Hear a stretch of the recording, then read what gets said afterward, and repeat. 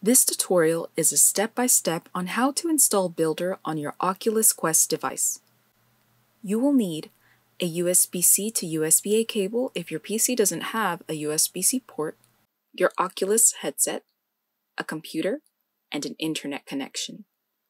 If you haven't done so already, head over to Byldr's website and click on Byldr's Hall in the top menu. Go ahead and sign up for an account. Register as a developer on the Oculus account. In order to sideload apps onto your Quest, you'll need to register as a developer organization first.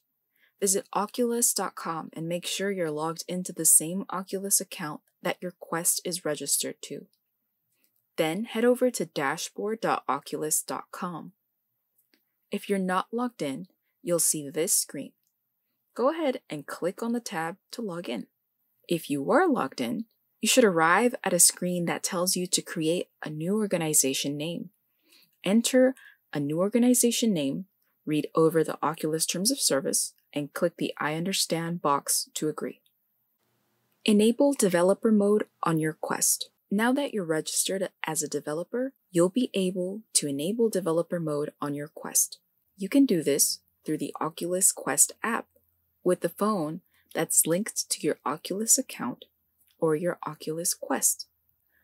Open the Oculus app on your phone with your Quest turned on so it can connect to the app, and then tap the Settings button on the bottom right. Locate your Oculus Quest listed in the Settings tab and make sure it reads Connected.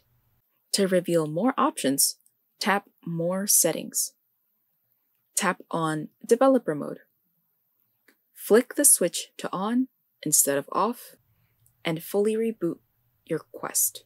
To do this, hold down the power button on the side until the power off menu appears. Then, select power off. After rebooting, your Quest should be in developer mode. Installing SideQuest. Head over to SideQuest's website and install the application for your operating system. Install as you would for any other program. SideQuest will automatically install the drivers you need for your Quest to communicate with your computer. Allow USB debugging. This should be a one-time step if you do exactly as follows. With SideQuest open, turn on your Quest. Please follow the prompts to set up your Guardian. Once that's done, plug in your Quest into your computer. Now, Inside your Quest, you should see a request to allow USB debugging. If you do not want to have to press OK on this screen every time you plug in your Quest into your computer, make sure you check the Always Allow from this computer box. Sideloading Byldr. We're almost there. Now that we have everything set up, sideloading this app will be easy. With SideQuest open and your Oculus headset connected, Look in the top left corner for a green dot which will say Connected after the SideQuest version number. If there's a red dot instead and says Disconnect, double check that your Quest is on. In SideQuest, at the top on the home page, click on the search bar where it says Search Games. Type in Byldr, click on the icon and select Install to Headset. Let's switch over to the Oculus headset.